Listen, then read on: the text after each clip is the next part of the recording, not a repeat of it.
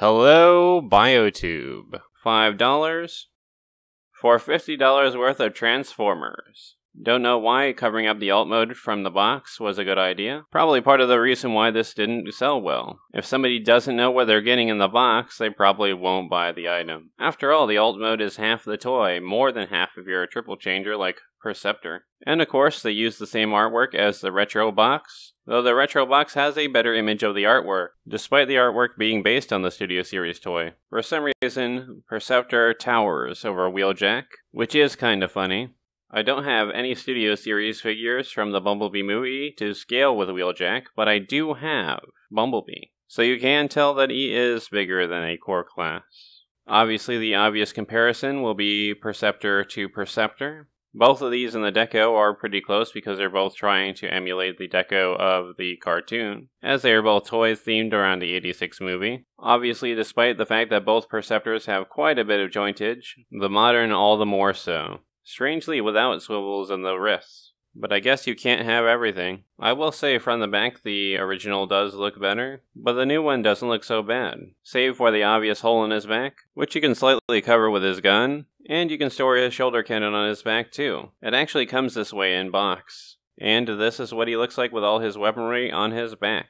But an even neater trick is changing out his head for the microscope, giving him a very shockwave or Whirl look to him. Neither of them have alt modes that are 100% accurate. However, given the inconsistencies of the G1 cartoon, you could say the original toy is still more accurate, but that doesn't mean the Studio Series alt mode is completely inaccurate either. One thing I don't like is the removal of the tech bits. I get that they're not cartoon accurate and they're not essential to getting across the idea of a telescope. In fact, the lack of them might make the telescope more accurate. But it does give some essential Microman detailing. But I get that the Studio Series 86 was doing its own thing, trying to be accurate to the cartoon as much as it can. They also, of course, both have tank modes. Perceptors is designed for core class figures, particularly ones on the smaller side, while the original is meant to handle 3 and 3 quarter inch GI Joes and Micromen. And this really gets to the different target audiences of Studio Series and Retro. If you're into those nostalgic 80s toys, obviously you want to go with the retro. But if you want something that works with the modern toys and is as accurate as it can be to the original cartoon, then Studio Series 86 is the line for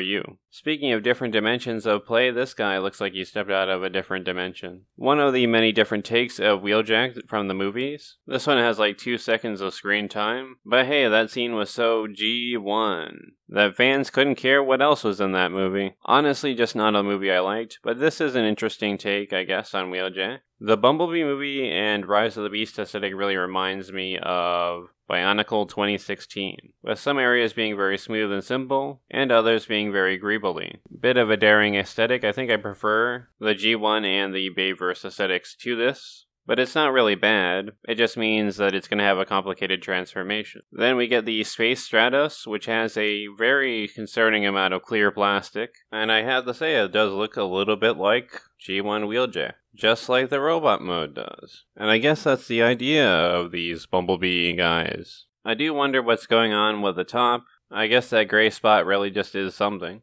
The greebling really leans to the back, which ultimately just is a big hole. And of course, you have weapon storage on the top. And I have to say, it really is not a bad alt mode. It's kind of just okay. And of course, he has weapon storage on his back as well. And of course, he has standard deluxe articulation, which unfortunately makes him ever so slightly less articulated than Perceptor. But still, he's a good figure, and if you're looking to collect characters from that scene, I guess you have to get him. He's a charming little fellow. Imagine being. Links below.